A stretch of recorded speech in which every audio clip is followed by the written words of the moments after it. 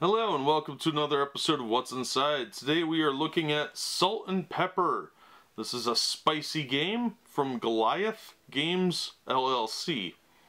This came out in 2016 uh, and they have fake nutrition facts.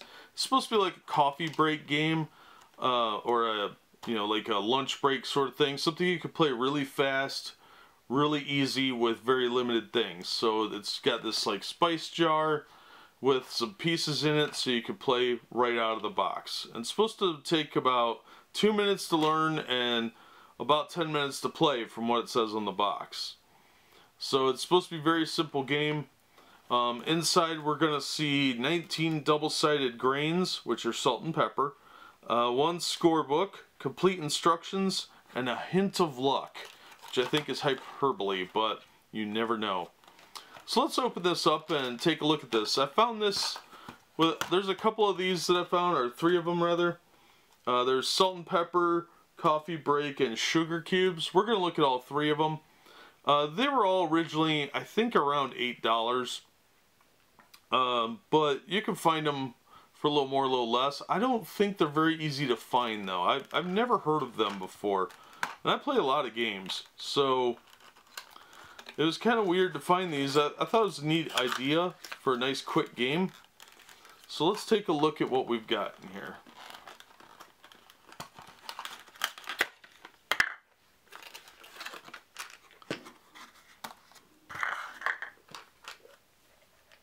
Alright, it opens up easy enough. There's our pieces.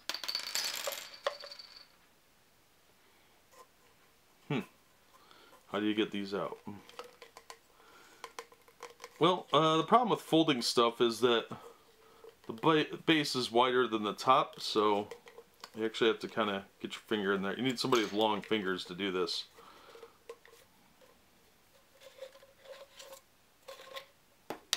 Taking the lid off probably be easier. Alright, so here's our instruction book and it's just a three-fold piece of paper real simple. Um, looks like the game is actually very easy. It's just a few paragraphs. Then there's winning the game on the back here. And then there's the Goliath logo. I guess originally these were put out by Tema T-E-M-A Toys and Games Limited because um, it's under license from them. For, and their copyright's 2014 so Goliath put these out most recently, but apparently these were put out previously by a different company. Now these are just two pieces of plastic fused together. One side, the black side is pepper and the white side is salt, of course. They sound hollow, so they're probably not real thick. They'll probably come apart fairly easily if you're not careful. But there's only 19 of them. Um, the little score pad they give you um, yeah, it's literally just a little tablet. Uh, nothing fancy. The one side has little lines on it. That's it.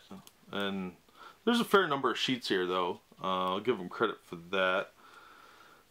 Excuse me. The um, the glue at the top here was real cheap, though. You can see where this is starting to come off just from me opening it once.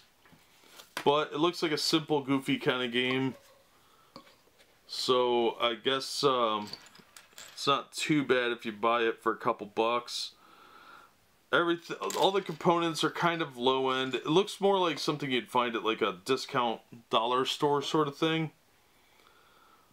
But yeah, I don't know. It's um, there's not a lot to it, which is which could be good or bad.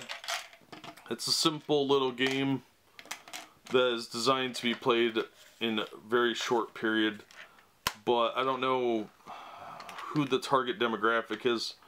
The lid doesn't stay shut real well, so upside down, a little bit of weight, it's already coming open. So any little jostling and things are going to fall out. That's disappointing. They could have at least invested in slightly higher end lid. Um, this is just a spice bottle like what you would get at any grocery store. It's just plastic, uh, not super high quality. Uh, the sticker around it is kind of cheaply made. So that'll probably come off at some point. Uh, overall, for what it's supposed to be, which is like a silly little game, I, I suppose it's okay. I don't think it would be worth the um, high amount that they were originally asking for it. I think that's pretty overpriced. But if you pick it up for a couple bucks, eh, yeah, anything over two or three dollars probably would go against my better judgment. I don't think I could justify that. But if you're looking at, yeah, I, I definitely won't pay more than $5 for this. I'd feel kind of cheated at that point. So yeah, I mean the packaging is actually probably the highest end part of this. Uh, yeah, I, I would have a tough time justifying even $5, honestly. But if you see it at a dollar store or a discount store or it's just on clearance or something, yeah, it might be fun. It might be a fun distraction for you and somebody that's not normally a gamer that doesn't like um, more hardcore games. They don't want to bust out Zombicide. You know, they're more the Clue Connect 4 type that uh, which is traditionally what most people have exposure to, then this would be fine. It's quick, easy game, uh, and you can it stores real easily because it's nice thin little bottle. So, yeah, I, I think if you find it cheap, pick it up. It might be an interesting game to play with somebody, kill a few minutes. Otherwise, uh, beyond five bucks, I would have a tough time with. But it is designed for ages 8 and up and two to five players. So, but that'll do it for this episode. Uh, I would say if you find it cheap, pick it up. Otherwise, uh, don't go hunting for it. It's um, the gimmick that only goes so far. But thank you as always for watching and supporting the channel, and we hope to see you on the next episode of What's Inside.